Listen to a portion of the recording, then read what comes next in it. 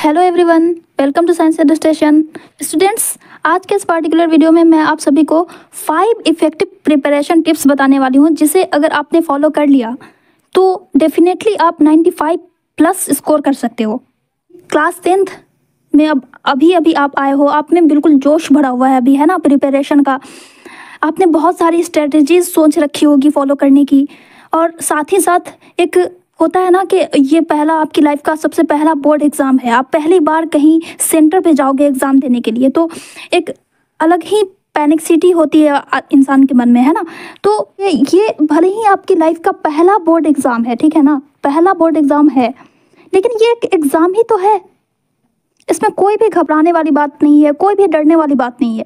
It's just an exam जैसे आपने ninth class का एग्ज़ाम्स दिया है, वैसे ही आप टेंथ क्लास का भी एग्ज़ाम्स दोगे। इसमें कोई बड़ी बात नहीं है, इसमें कोई नई बात नहीं है। बस आपको अब तक आप सीरियस नहीं थे पढ़ाई में, यानी कि सीरियसनेस का ये मतलब नहीं है कि बिल्कुल पैनिक हो जाना है कि भाई कैसे प्रिपरेशन करनी है, आठ घंटे पढ़ाई करनी है, दस घंटे पढ़ाई करनी है, नहीं। आपको बस कंसिस्टेंसी मेंटेन करके रखनी है रेगुलर स्टडी करनी है, बस। थोड़ा सा सीरियस होना है, क्योंकि बोर्ड एग्ज़ाम्स देने हैं आपको, है ना? देखो नाइन्थ और टेंथ क्लास में क्या डिफरेंस है दोनों में कि नाइन्थ क्लास का जो एग्ज़ाम्स था, वो आपके स्कूल्स के टीचर दिया करते थे, है ना? स्कूल्स में कंडक्ट होते थे। इस इस नाइन्थ क्लास का जो कंट्रोल था, वो आपके स्कूल्स के पास होता था। लेकिन अब ये जो बोर्ड एग्ज़ाम्स है, इसका कंट्रोल सीबीएसई बोर्ड के हाथ में है। ठीक है? जो भी बच्चे सीबीएसई बोर्ड से बिलोंग करते हैं, उन हर किसी का अलग अलग बोर्ड होता है। अगर आप सीबीएसई से हो या फिर आप आईसीएसई से हो, है ना? तो ये बोर्ड इस क्लास टेंथ का जो कंट्रोल होता है, वो सीबीएसई किसी भी बोर्ड के हाथ में होता है। दैट मीन्स के इसका जो रिज़ल्ट है, वो सीबीएसई अलॉट करती है। इसके हाथ में होता है, इसका सारा कंट्रोल सीबीएसई के हाथ में होता है है ना? तो एक तो बात ये हो गई, और दूसरी बात ये है, एक इस, इसका प्लस पॉइंट भी है। क्या है कि देखो नाइन्थ क्लास का जो क्वेश्चन पेपर होता है, वो तो स्कूल के टीचर सेट कर सेट करते हैं। है ना? तो ये क्या सोचते हैं कि भाई मैं जितना टफ हो सके, उतना क्वेश्चन टफ सेट कर सकूँ? क्योंकि वो आपको पढ़ाए हुए होते हैं। तो वो आपका लेवल पहले से जाने हुए होते हैं। लेकिन सीबीएसई बोर्ड या कोई भी बोर्ड जो होती है, जब वो एग्ज़ाम एग्ज़ाम कंडक्ट करवाती है तो उन्हें ओवरऑल सारे बच्चों को देखना पड़ता है। है ना? कोई बच्चे जो कि एवरेज कैटेगरी के होते हैं, कोई बच्चे होते हैं जो बिल्कुल ही लो कैटेगरी के होते हैं कोई बच्चे होते हैं जो कि बिल्कुल जीनियस होते हैं। तो इन सारे बच्चों को एक साथ देखते हुए वो जो क्वेश्चन पेपर सेट करते हैं, वो एवरेज लेवल का क्वेश्चन पेपर सेट करते हैं। तो एक तरह से आप अगर देखो तो नाइन्थ क्लास से इजियर होता है टेंथ क्लास इसमें कोई भी पैनिक होने वाली बात नहीं है, कोई भी घबराने वाली बात नहीं है। इसका जो क्वेश्चन पेपर बनाया जाता है, वो इंडिया में जितने भी स्टूडेंट्स हैं, उन सारे स्टूडेंट्स के लेवल को देखते हुए बनाया जाता है। तो एक तरह से ये इतना टफेस्ट नहीं होता है जितना आप लोगों ने नाइन्थ क्लास का पेपर देखा होगा उससे इजी क्वेश्चन रहता है टेंथ क्लास का। बस आपको क्या करना है? फोकस के साथ स्टडी करनी है कंसिस्टेंसी मेंटेन करके रखनी है कंटिन्यू पढ़ाई करना है है ना? और ज़्यादा कुछ पैनिक भी नहीं होना है, ना ही ज़्यादा अपने ऊपर बर्डन लेना है, ना ही अपने ऊपर कोई हार्ड हार्डनेस क्रिएट करना है। ठीक है? तो आज मैं बस आपको सिर्फ़ और सिर्फ़ फाइव इफ़ेक्टिव टिप्स बताने वाली हूँ, सिर्फ़ और सिर्फ़ फाइव टिप्स अगर आपने इन फाइव टिप्स को फॉलो कर लिया थ्रू आउट द ईयर तो फिर मैं डेफिनेटली आपको गारंटी दे सकती हूँ कि आप 95 प्लस स्कोर कर सकते हो। Okay okay? आप, सबसे मोस्ट इंपॉर्टेंट थिंग क्या होती है कि सेल्फ स्टडी भले ही आप स्कूल जाते होगे स्कूल में टीचर्स पढ़ाते हैं, उनके भी बातों बातों को नोट नोट नोट डाउन करना है। साथ ही साथ सेल्फ स्टडी बहुत ज़रूरी है, क्योंकि आप अपने आप को खुद से ज़्यादा बेटर और कोई नहीं जान सकता आपको। जितना अच्छा से आप अपने आप को समझते हो, आप अपना लेवल जानते हो, उतना अच्छा आपको कोई नहीं समझ सकता है। आपको क्या चीज़ें किस टाइम पे किस तरह से समझ में आ रही हैं, वो सिर्फ़ और सिर्फ़ और सिर्फ़ आप जानते हो। तो self study is the best key to success ठीक है? तो आप जब भी कभी सेल्फ स्टडी करने बैठोगे तो ये वीडियो एक बार ज़रूर देखना। और आपसे मेरी बस एक छोटी सी रिक्वेस्ट है कि इस वीडियो में आपको जो भी इम्पोर्टेंट लगे, उसे आप ज़रूर नोट डाउन करना और उसे अपनी स्ट्रेटजी में ज़रूर शामिल करना। इनफैक्ट फाइव प्रिपरेशन टिप्स मैं यहाँ पे बताने वाली हूँ, वो सारे ही इम्पोर्टेंट हैं। और ये एक दूसरे से कोरिलेटेड भी हैं। और अगर आपने इन सारे टिप्स को कंसिस्टेंटली फॉलो कर लिया, यानी कि शुरू से लेकर के जब तक एग्ज़ाम नहीं हो जाता है तब तक अगर आपने इसे कंटिन्यू रखा तो definitely you will score ninety five percent okay तो चलिए, ज़्यादा बातें नहीं करते स्टार्ट करते हैं। फ़र्स्ट ऑफ़ ऑल आपने बहुत सुना होगा कि टाइम टेबल है ना? देखिए, आप क्लास सेवेंथ में गए होगे तो भी आपने सोचा होगा कि भाई, अब क्लास सेवेंथ में आ गया हूँ या आ गई हूँ। तो इस बार मैं बहुत अच्छे से पढ़ाई करूँगा, बहुत अच्छे से पढ़ाई करूँगी।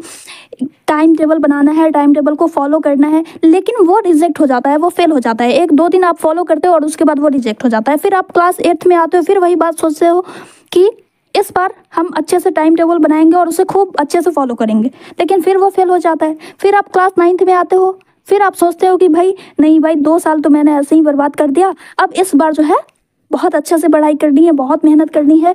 अब हाई स्कूल में आ गया हूँ है ना? तो खूब अच्छे से पढ़ाई करनी है। तो फिर आप एक टाइम टेबल बनाते हो और उसे फॉलो करते हो लेकिन एक दो दिन के बाद फिर से वो फेल हो जाता है है ना? कभी किसी की कोई फ़ंक्शन आ जाती है किसी की शादी हो, हो जाती है कोई इवेंट हो जाता है आपके घर में जब आपके पढ़ने का वक्त होता है तो उस टाइम में कोई गेस्ट आ जाते हैं है ना? ऐसा होता है। तो फिर वो जो स्ट्रेटजी आप बनाते हो वो जो टाइम टेबल आप बनाते हो वो फेल हो जाता है, उसे आप फॉलो नहीं कर पाते हो। तो इस बार अब फिर से यही गलती नहीं दोहरानी है। अब इस टाइम टेबल को नहीं फॉलो करना है। वो जो आप टाइम टेबल बनाते थे कि आठ से दस बजे मुझे मैथ्स पढ़ना है, दस से बारह बजे मुझे साइंस पढ़ना है तो ये वाली स्ट्रेटजी अब नहीं फॉलो करनी है। अब क्या करना है? अब आपको टारगेट सेट करना है। ठीक है? टारगेट सेट करना है कि आज मुझे केमिस्ट्री का एक चैप्टर कंप्लीट करना है मैथ्स का दो एक्सरसाइज बनाना है एंड सो ऑन इसी तरह से, है ना? एक टारगेट सेट करना है, और उस टारगेट को एनी हाउ आपको पूरा करना है। ठीक है? टारगेट सेट करने का क्या मतलब है कि आपको एक दिन में, है ना डेली बेसिस पे आप टारगेट सेट कर सकते हो वीकली बेसिस पे आप टारगेट सेट कर सकते हो, और उसे एनी हाउ आपको पूरा करना है। है ना? मान लेते हैं कि अगर दो बजे से चार बजे तक आपके घर में कोई फ़ंक्शन हो गया या फिर कोई गेस्ट आ गए ठीक है? तो उस टाइम पे तो आप पढ़ने स्टडी नहीं कर पाओगे। तो आपको क्या करना है? आपने सेट कर लिया कि भाई मैथ में मुझे दो दो एक्सरसाइज आज बनाने हैं, ठीक है? तो इसे किसी भी तरह से आपको पूरा करना है। ये जब तक आपकी, आपका जो, आपने जो आज के लिए जो टारगेट सेट किया है, वो आज जब तक कंप्लीट नहीं होगा, मुझे नहीं सोना है। ये आपको ठान लेना है। इससे क्या होगा कि आप खुद ब खुद मोटिवेट भी होते रहोगे और बेस्ट से बेस्ट परफॉर्मेंस कर सकोगे। एंड बिल्कुल इजीली आप अपने गोल को अचीव कर पाओगे। अब बात आती है कि भाई टारगेट सेट कैसे करना है? How to set a target and हम इसे कंप्लीट कैसे कर सकते हैं? है ना? तो सबसे पहली बात टाइम ब्लॉकिंग अब टाइम ब्लॉकिंग कैसे करनी है? तो आपको क्या करना है कि आपके जितने भी काम हैं, है ना? डेली के जो काम होते हैं ना उन सारे कामों को आप आवर्स में डिवाइड कर लीजिए कि इतने बजे से इतने बजे तक मुझे क्या करना है, इतने बजे से इतने बजे तक मुझे क्या करना है है ना? दो से चार बजे तक क्या करना है? आपका स्कूल टाइम भी होता है, दो दो बजे तक आप स्कूल से आते होगे, है ना? तो फिर इस तरह से आप जो है टाइम को डिवाइड कर लीजिए कि किस टाइम में हम कितना पढ़ सकते हैं। ठीक है? सेकंड चीज़ आपको क्या करनी है know your best time to study her student का एक अलग अलग टाइम होता है, जिस टाइम पे वो अच्छे से स्टडी कर पाते हैं। जैसे कि कोई स्टूडेंट होते हैं जो कि मॉर्निंग वाले स्टूडेंट होते हैं, उन्हें मॉर्निंग में पढ़ना अच्छा लगता है। मॉर्निंग में वो ज़्यादा फ्रेश फील करते हैं अपने आप को। कुछ स्टूडेंट ऐसे होते हैं जो कि इवनिंग में अपने आप को फ्रेश फील करते हैं। कुछ स्टूडेंट ऐसे होते हैं जो नाइट टाइम में अपने आप को फ्रेश फील करते हैं। वो अच्छा अच्छे से स्टडी कर पाते हैं। उनके लिए बेस्ट स्टडी टाइम जो होता है, वो नाइट टाइम होता है। तो ये आप पे डिपेंड करता है कि आपके लिए क्या बेस्ट टाइम है स्टडी करने के लिए। आप उस टाइम को चूज़ करो। आप उस टाइम को देखो, जानो। ठीक है? अब तीसरी बात ये करनी है आपको कि आपके सबसे पहली बात कि जब हम टारगेट सेट करने से पहले तो आपको अपने सिलेबस की एनालिसिस करनी होगी, जो कि मैंने ऑलरेडी डाल दिया है, अगर आपने वो वीडियो नहीं देखे हैं सिलेबस वाले। तो वो जा करके देख लीजिए, उसमें मैंने क्वेश्चन पेपर पैटर्न भी बताया है। टारगेट सेट करने से पहले वो देखना बहुत ज़रूरी है, अपने सिलेबस को समझना बहुत ज़रूरी है, क्योंकि जब तक आप अपने सिलेबस को नहीं स्टडी करोगे कि किस सब्जेक्ट में मुझे कितना पढ़ना है, किस सब्जेक्ट में कितने चैप्टर्स हैं, किस सब्जेक्ट का कैसा क्वेश्चन पेपर पैटर्न होने वाला है तो फिर आप टारगेट सेट कैसे करोगे? सेट ही नहीं कर पाओगे, है ना? तो सबसे पहले अगर आपने वो वीडियो नहीं देखे हैं तो मैं इसमें डिस्क्रिप्शन में लिंक डाल दूँगी। आप देख सकते हो वहाँ से, ठीक है? अपने सिलेबस को पहले आप अच्छे से समझ लीजिए, अच्छे से एनालिसिस कर लीजिए एंड देन अब आती है बात कि भाई टारगेट कैसे सेट करें।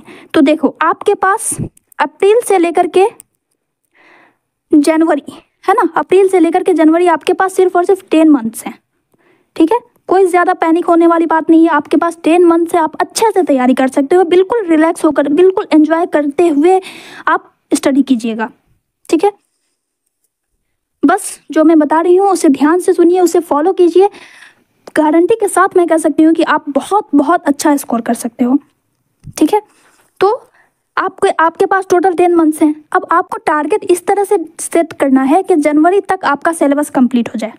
तो इसके लिए आप क्या करोगे? आप अपने सब्जेक्ट्स के जो सिलेबस हैं चैप्टर वाइज उन्हें डिवाइड कर लीजिए। ठीक है? उसके बाद क्या करना है? मेक डेली और वीकली टारगेट्स टू इस सब्जेक्ट हर एक सब्जेक्ट का या तो आप डेली टारगेट सेट कर सकते हो, या फिर आप वीकली टारगेट सेट कर सकते हो। डेली टारगेट सेट करने का मतलब कि मुझे आज केमिस्ट्री का एक चैप्टर कंप्लीट करना है। तो आपको एनी हाउ उसे कंप्लीट करना ही है, तभी आपको बेड पे जाना है। ये होना चाहिए, ठीक है? अगर आप वीकली टारगेट सेट कर रहे हो तो फिर आपको थोड़ा ज़्यादा ज़्यादा सेट करना पड़ेगा। इस तरह से सेट करना है कि आपको टेन मंथ्स में सारे सब्जेक्ट्स के सिलेबस कंप्लीट हो जाए, ठीक है?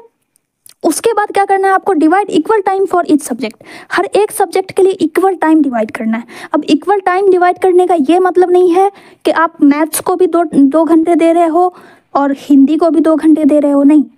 जो टफ सब्जेक्ट है, जिसमें ज़्यादा जिसका सिलेबस बहुत ह्यूज है, उसको आप ज़्यादा टाइम दीजिएगा। जो आपके लिए इजी सब्जेक्ट है, उसमें आप कम टाइम दीजिएगा। तो इस तरह से बैलेंस्ड करके आपको टाइम डिवाइड करना है, हर एक सब्जेक्ट के लिए, है ना? अब किसी किसी बच्चों को कोई चैप्टर जल्दी समझ में आ जाता है तो वो आपको अदर चैप्टर इजी लगेगा। किसी के लिए अदर चैप्टर इजी होगा, आपके लिए कोई और चैप्टर इजी होगा। तो ये आप अपने अकॉर्डिंग अपने तरीके से आप इसे फ्लक्चुएट कर सकते हो, अपने तरीके से आप इसे सेट करोगे, है ना? अब जैसे कि मैथ्स है सोशल साइंस है तो ये दोनों का जो सिलेबस है, वो बहुत ही ज़्यादा है है ना? मैथ्स में बहुत ज़्यादा प्रैक्टिस की ज़रूरत होती है तो उसके लिए हम ज़्यादा टाइम देंगे। एस में थ्री फोर बुक्स पढ़नी है हमें तो उसमें भी ज़्यादा सिलेबस है। तो उसके लिए भी हमें ज़्यादा टाइम चाहिए। साइंस में एक बुक है, लेकिन उसमें थर्टीन चैप्टर्स हैं तो उसे उसके अकॉर्डिंग सेट करेंगे। हिंदी, इंग्लिश थोड़ा सा इजी हो जाता है, जो भी लैंग्वेज पेपर होता है, आपका जो भी है, हिंदी है, उर्दू है, या फिर अदर सब्जेक्ट है है ना? तो उसके लिए हम अलग स्ट्रैटेजी बनाएँगे। तो पहले आप अपने हर एक सब्जेक्ट की स्ट्रैटेजी तैयार कीजिए, और उसके अकॉर्डिंग आप उसे इक्वल टाइम में डिवाइड कर लीजिए। ठीक है? तो पहला क्या काम क्या करना है स्ट्रेटेजी बनाने के लिए टारगेट सेट करने के लिए सबसे पहला काम क्या करना है कि आपको डेली आवर्स डेली वर्क जो है आपका, जो कि करना ही करना है। सबसे पहली बात कि जो भी डिस्ट्रैक्शंस हैं, उसे तो एलिमिनेट कर देना है आपको, है ना? अभी कोई भी फालतू काम नहीं करना है, अब अब थोड़ा सा सीरियस तो होना ही पड़ेगा क्योंकि बोर्ड एग्ज़ाम्स है है ना? तो जो भी डिस्ट्रैक्शंस हैं जो भी आप पहले बहुत ज़्यादा एंजॉय करते थे, वो अब कम कर देना है आपको। इधर उधर की बातें नहीं करनी है है ना? और जो जो इम्पोर्टेंट वर्क है, जो अर्जेंट वर्क है, आपको बस वही करना है और उसके लिए आपको आवर्स में डिवाइड कर लेना है कि मुझे ये काम दो घंटे में ही कंप्लीट करना है तो करना है। ठीक है? उसके बाद फिर आप अपना बेस्ट टाइम चूज़ करोगे कि क्या बेस्ट है हमारे लिए कौन सा टाइम बेस्ट है? हम मॉर्निंग में अच्छा पढ़ते हैं या इवनिंग में अच्छा पढ़ पाते हैं? ज़्यादा टाइम हम किस वक्त दे पाते हैं वो आप चूज़ करोगे। फिर आपको सब्जेक्ट को सिलेबस में डिवाइड कर लेना है है ना? फिर आपको तब जा करके टारगेट सेट करना है और, और उसे फॉलो करना है है ना? अब देखिए कैसे हम टारगेट सेट करेंगे तो लेट मी टेल यू आप आप चाहो तो आप इसे फॉलो कर सकते हो या फिर आप अपने अकॉर्डिंग भी स्ट्रेटजी बना सकते हो, है ना? अब जैसे कि मैं यहाँ पे, मैंने यहाँ पे कुछ मेंशन किया है।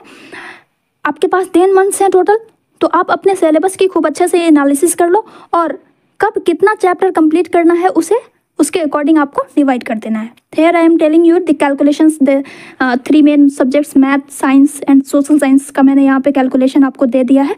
अगर आप चाहो तो इसे फॉलो भी कर सकते हो या फिर आप अपने अकॉर्डिंग भी इसे सेट कर सकते हो। जैसे कि टोटल साइंस में आपको टोटल थर्टीन चैप्टर्स हैं, है ना? फिजिक्स केमिस्ट्री बायोलॉजी ये तीन पोर्शंस होते हैं, तीन सब्जेक्ट्स होते हैं इसमें। तो इसमें आप twenty two twenty five days का टाइम आप पर सब पर chapter twenty two twenty five days set कर सकते हो तो आपका सिलेबस टाइमली कंप्लीट हो जाएगा।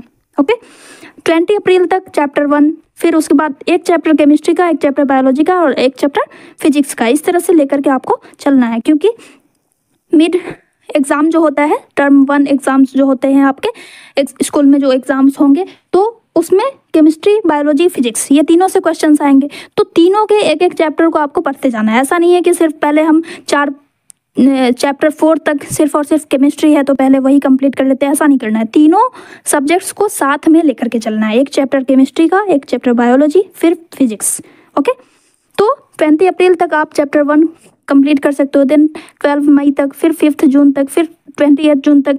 तो इस तरह से आप टारगेट सेट करोगे तो आपका थर्टीथ जनवरी तक आपका साइंस कंप्लीट हो जाएगा।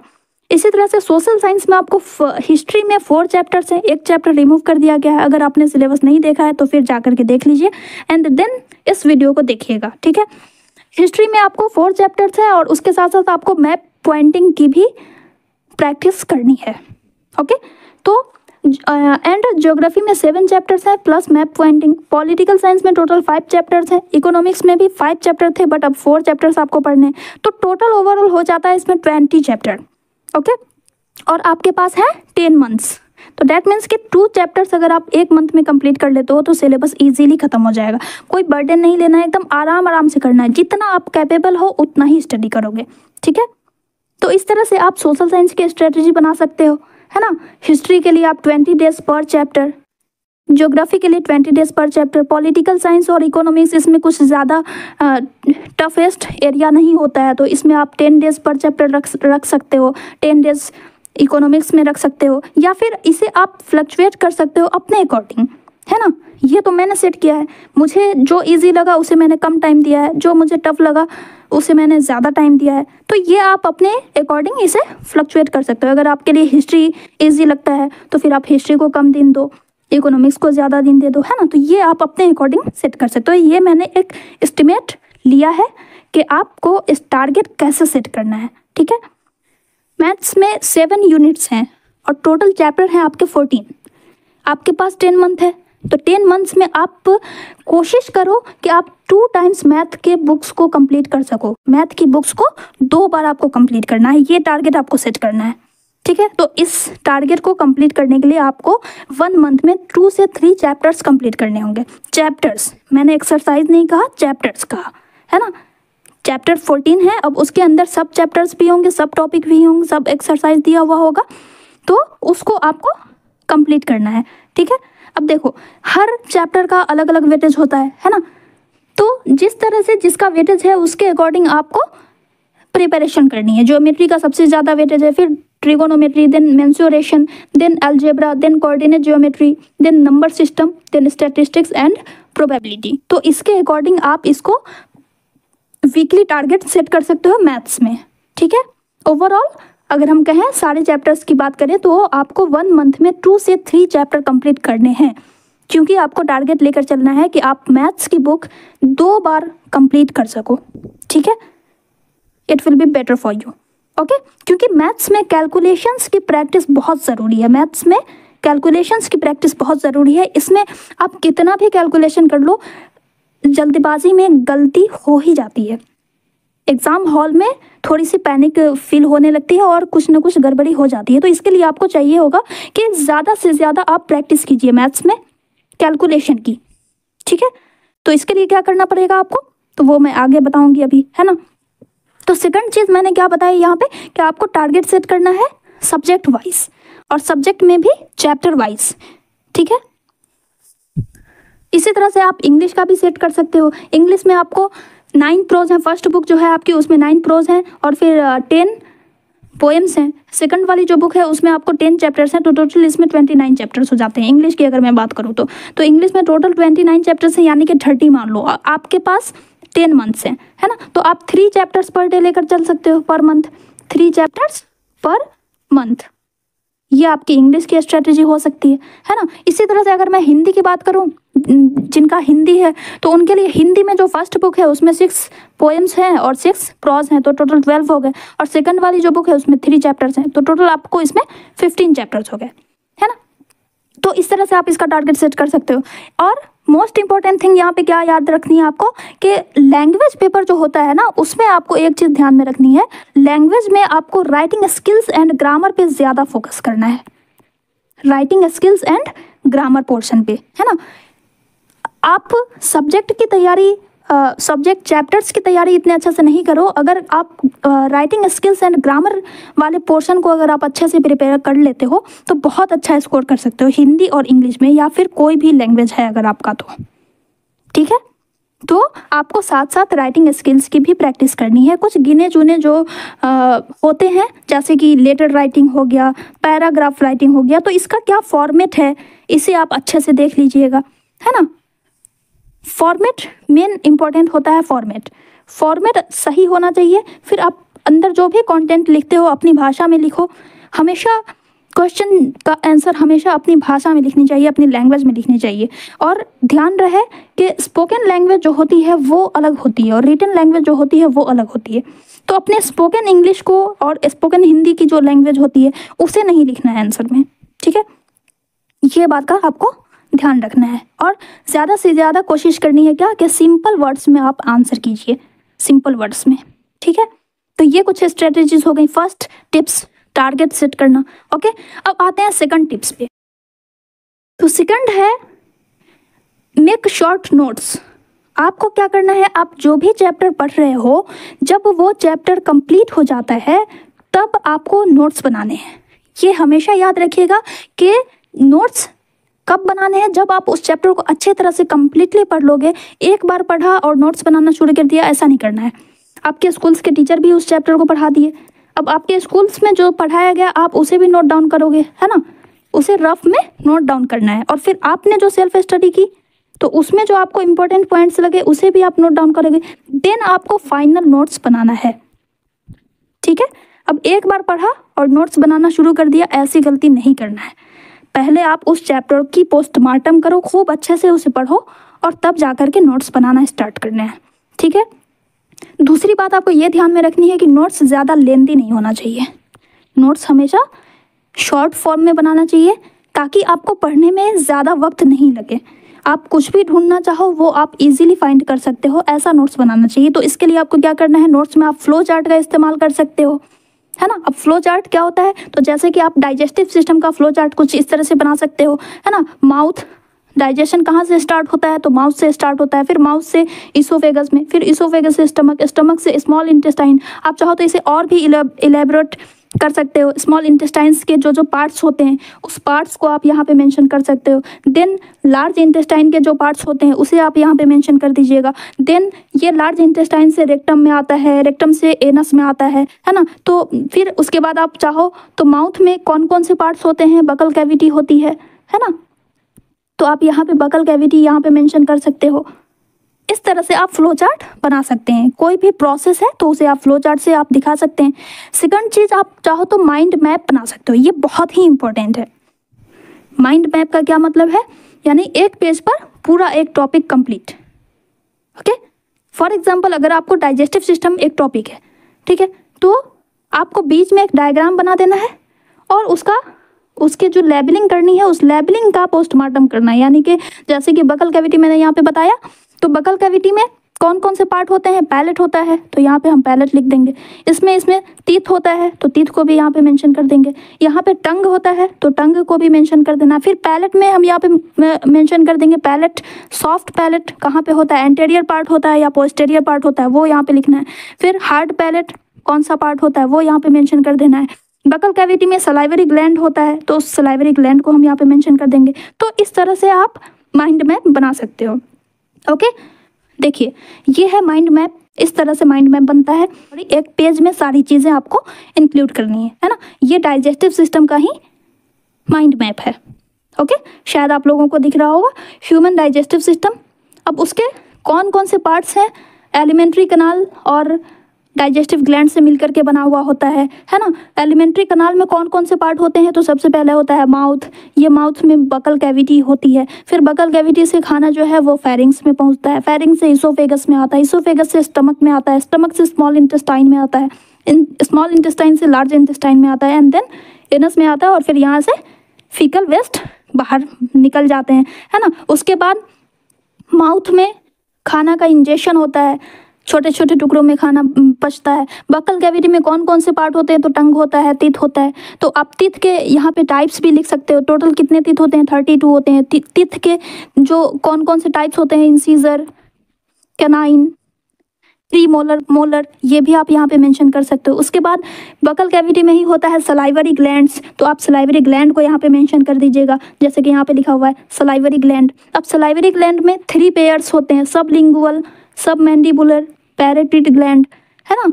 इस तरह से आप माइंड मैप तैयार कर सकते हैं, ठीक है? आई होप यू अंडरस्टैंड इसके बाद जो चीज़ें आती हैं sticky notes short notes notes बनाने का एक और तरीका है sticky notes and flash cards आप बना सकते हो। अब स्टिकी नोट्स क्या होता है? जैसे कि छोटा सा कार्ड है है ना? आप लोगों ने देखा होगा स्टिकी नोट्स तो उसमें कुछ ऐसी इन्फॉर्मेशन लिखना है और उसे चिपका देना है कि आप देखे, देखते ही उसे रीड आउट कर लो। अब जैसे कि केमिस्ट्री है केमिस्ट्री में कोई केमिकल रिएक्शन है तो आप चाहो तो इस स्टिकी नोट्स में कॉमन नेम लिख सकते हो। कंपाउंड का केमिकल कंपाउंड का कॉमन नेम लिख सकते हो। आप चाहो तो आ, इसका स्ट्रक्चरल फार्मूला लिख सकते हो। आप चाहो तो मेटल्स नॉन मेटल्स के जो टाइप्स होते हैं वो लिख सकते हो। है ना? तो इस तरह से शॉर्ट फॉर्म में नोट्स बनाना है ताकि पढ़ने में कोई टाइम नहीं लगे। ठीक है? इसके बाद सेकंड चीज़ क्या करनी है आपको कि एब्रीविएशन यूज़ करना है अपने नोट्स में, है ना? जितना जितना छोटा, जितना रिड्यूस करके आप नोट्स बना सको, ये बहुत ही ज़्यादा बेनिफिशियल रहेगा आपके लिए, ठीक है? ताकि कोई भी चीज़ अगर आप फाइंड करना चाहो एग्ज़ाम के टाइम में तो वो आपको ईजिली उसमें मिल जाए। ढूँढने में टाइम नहीं लगे। आप, आपने अपना ही नोट्स बनाया है और आपको खुद ही टाइम लगे तो इस नोट्स का कोई फ़ायदा नहीं है, ठीक है? टाइम टेकिंग नोट्स नहीं होना चाहिए, है ना?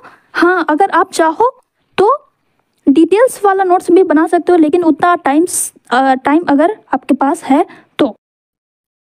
वरना ये शॉर्ट नोट्स ही बहुत ज़्यादा इंपॉर्टेंट है।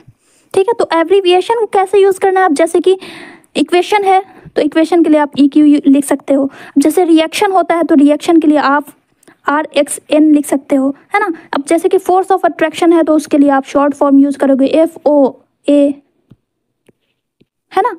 ऑल्सो नोन एज है तो उसे आप ए के ए लिख दोगे। क्योंकि नोट्स आपको ही पढ़ना है, ये किसी और को तो देना है नहीं, है ना? ये आप सेल्फ स्टडी के लिए बना रहे हो तो आपको जो सहूलत हो, जिस तरह से आप समझ सकते हो, वो वर्ड आप लिख सकते हो। क्योंकि ये नोट्स आपका है, आपको ही पढ़ना है तो आप जो एब्रीविएशन चाहो, वो आप पुट कर सकते हो, ठीक है? क्योंकि ज़्यादा घिचपिच भी नहीं होना चाहिए, एकदम साफ़ सुथरा नोट्स होना चाहिए, ताकि सारी चीज़ें, सारी इन्फॉर्मेशन क्लियरली दिखाई दे, है ना? तो इसलिए आप एब्रीविएशन यूज़ कर सकते हो।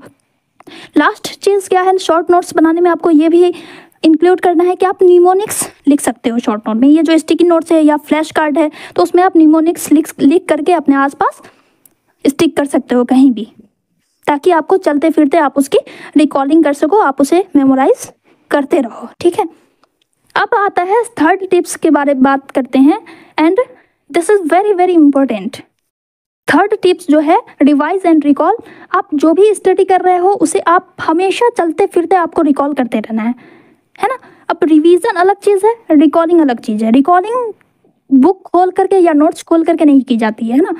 आपको हर वक्त चलते फिरते करते रहना है। आज आपने जो कुछ भी स्टडी की है, उसे आप या तो खाना खा रहे हो लंच के टाइम में आप इसकी रिकॉर्डिंग करते रह, कर सकते हो, या फिर आप कोई भी अदर काम कर रहे हो स्टडी के अलावा तो आप उसे अपने माइंड में रिकॉल करते रह, रह सकते हो है ना? हमेशा आपको क्या करना है आपको जो भी याद है आपको आपने आज जो भी स्टडी की है उसे अपने मन में पूरा शुरू से लेकर के अंत तक उसे रिपीट करते रहना है।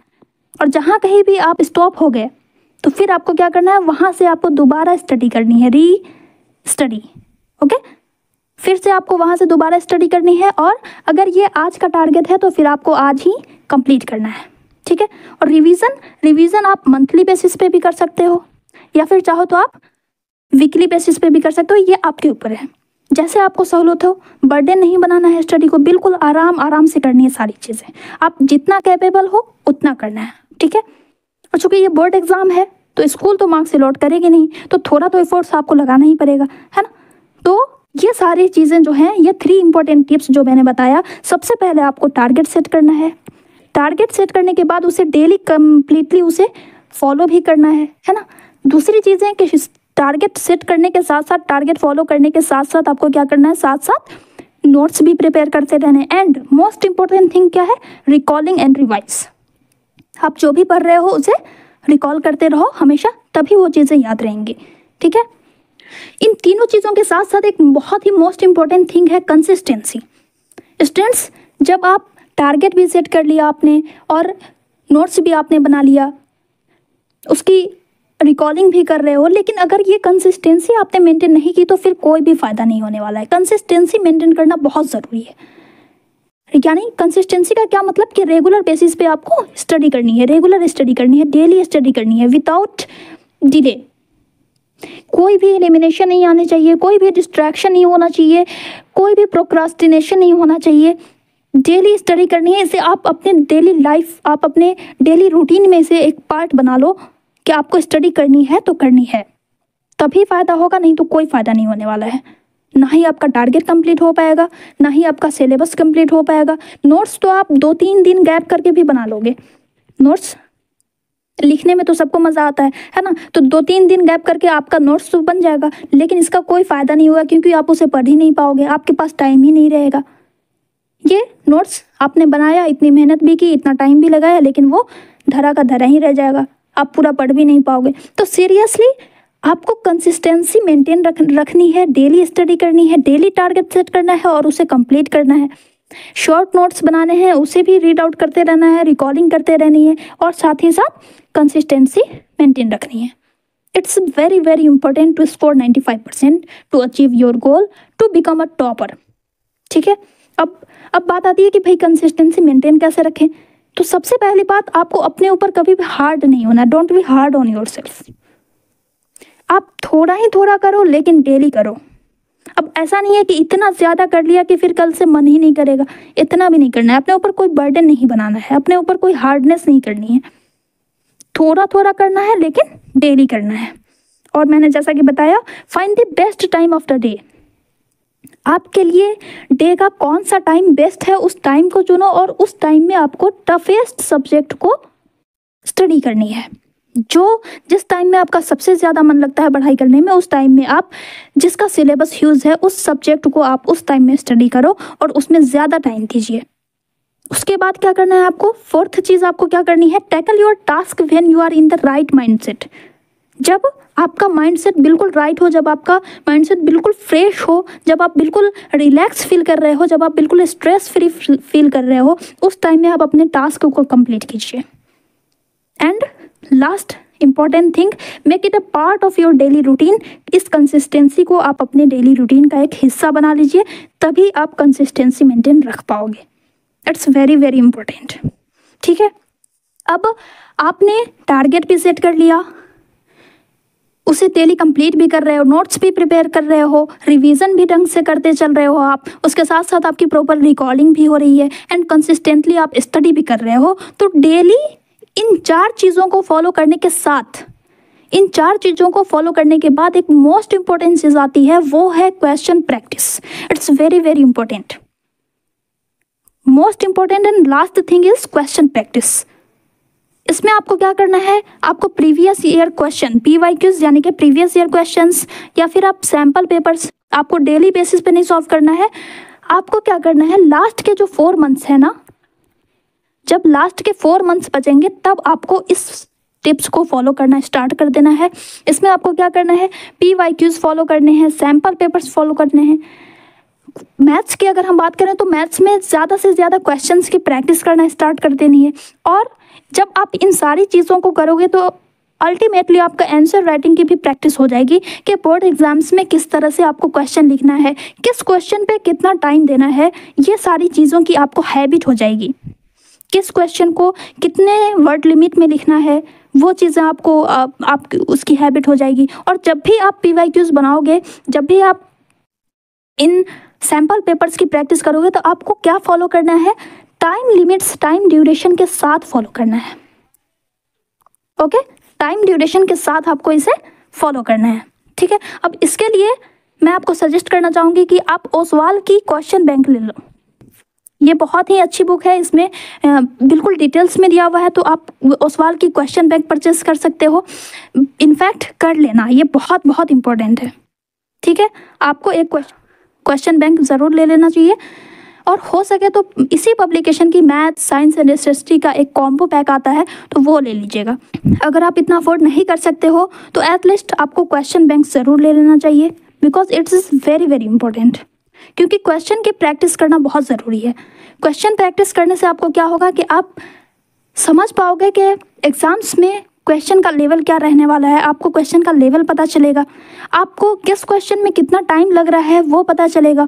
तो इन सारी चीज़ों की जब आपको पहले से हैबिट रहेगी तो ना ही कोई आपको फियर होगा एग्ज़ाम हॉल में जाने का, ना ही आपको कोई स्ट्रेस होगा, ना ही कोई एंगजाइटी होगी, इन सारी चीज़ों से आप बिल्कुल फ्री रहोगे। तो ये काम आपको करना है लास्ट के फोर मंथ्स में। रिवीजन रिकॉलिंग नोट्स प्रिपरेशन इन सब के साथ साथ आपको क्या करना है?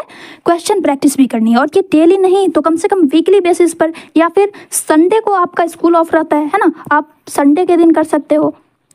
सैटरडे या संडे दो दिन। सैटरडे और संडे को आप क्वेश्चन प्रैक्टिस का दिन अलॉट कर सकते हो, क्योंकि उस दिन आपका स्कूल भी ऑफ़ रहता है, आपको ज़्यादा टाइम भी मिलता है है ना? तो आप डेली हर संडे को एक question paper with time duration time duration के साथ आपको सॉल्व करना है। ठीक है? टाइम ड्यूरेशन के साथ आपको हर दिन, हर संडे को या फिर हर सैटरडे को एक न एक क्वेश्चन पेपर ज़रूर सॉल्व करना है। आप कोशिश कीजिएगा कि हर संडे को, क्योंकि संडे को छुट्टी रहती है स्कूल नहीं रहता है आपका तो उस दिन आप दो क्वेश्चन पेपर सॉल्व करो। दो क्वेश्चन पेपर सॉल्व करना है दो सब्जेक्ट का। ठीक है? तो इस तरह से आपके पास फोर मंथ है तो फोर मंथ में सिक्सटीन संडे मिलेंगे आपको तो सिक्सटीन टू ज़ा थर्टी टू तो इस तरह से आप कोशिश आपको ये करनी है कि हर सब्जेक्ट का आप टेन टेन कम से कम टेन टेन क्वेश्चन पेपर आप सॉल्व कर लो। ये आपके लिए बहुत ही बेनिफिशियल होगा। ठीक है?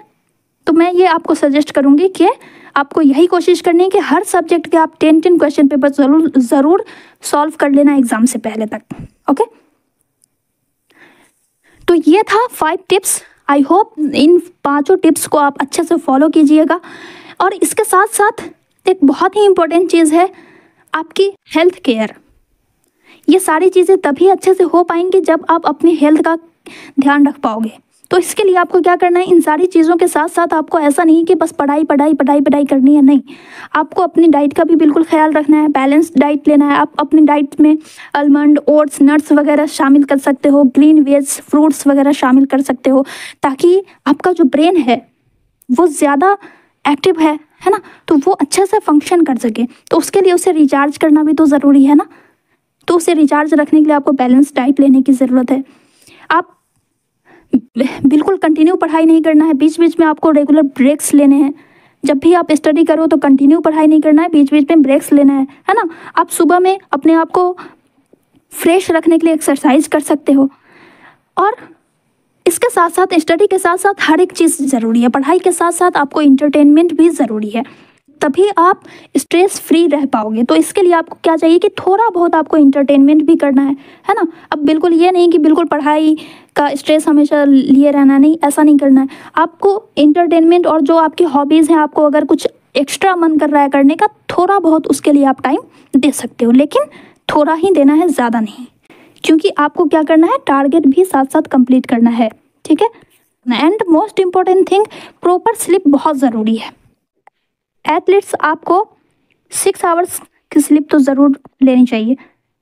तो आप कुछ इस तरह से टारगेट सेट कीजिए कि आपको छः घंटे की प्रॉपर स्लीप भी मिले, है ना? कोई भी एक्स्ट्रा काम नहीं करना है मतलब जो वर्क आपके लिए अर्जेंट है, आप उसे ही कीजिएगा। तो I hope you understand and hopefully you will definitely follow this strategy and maintain the consistency five tips मैंने बताए। सबसे पहले आपको क्या करना है? टारगेट सेट करना है। और उस टारगेट को डेली फॉलो भी करना है। उसके बाद आपको क्या करना है? साथ साथ नोट्स भी प्रिपेयर करते रहना है। इन दोनों के साथ साथ रिकॉलिंग और रिवीजन भी ज़रूरी है। और उसके बाद कंसिस्टेंसी मेंटेन करके रखनी है ना? क्योंकि जब तक कंसिस्टेंसी आप मेंटेन नहीं करोगे, ये सारी चीज़ें बिल्कुल बेमायने हैं। ये कोई भी फ़ायदा नहीं होगा इसका। और साथ ही साथ आपको अपनी हेल्थ का भी ध्यान रखना है ओके अगर आपने ये स्ट्रेटजी फॉलो कर ली कंसिस्टेंटली स्टडी किया तो कोई भी ऑब्स्टेकल नहीं है जो आपको 95 प्लस स्कोर करने से रोक सके। इसकी मैं आपको गारंटी दे सकती हूँ। ओके? तो अभी के लिए बस इतना ही। मिलते हैं नेक्स्ट वीडियो में। Till then take care bye